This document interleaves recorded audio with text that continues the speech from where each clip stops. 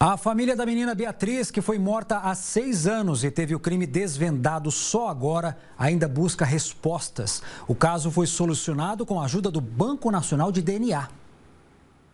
A mãe de Beatriz acredita que o homem identificado seja o assassino, mas ainda questiona a motivação do crime.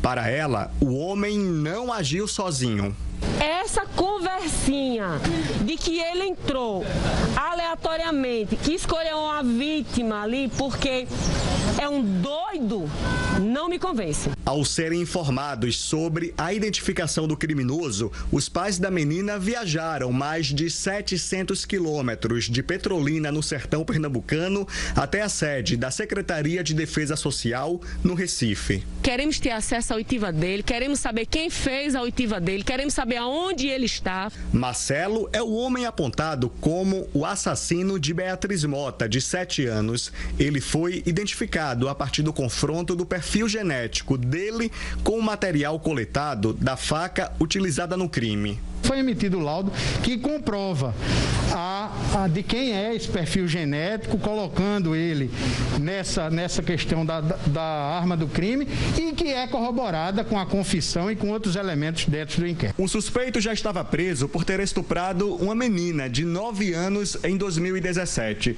O perfil biológico dele foi inserido no banco de dados em 2019. Depois da confirmação do DNA, Marcelo da Silva confessou ter matado Beatriz Mota. O crime foi em dezembro de 2015. Beatriz Mota participava da festa de formatura da irmã em um colégio tradicional de Petrolina. A garota foi abordada quando se distanciou dos pais durante a cerimônia para beber água. Ela estava em um corredor e, segundo o assassino, foi morta porque ficou apavorada quando ele falou com ela, o que poderia chamar a atenção de outras pessoas.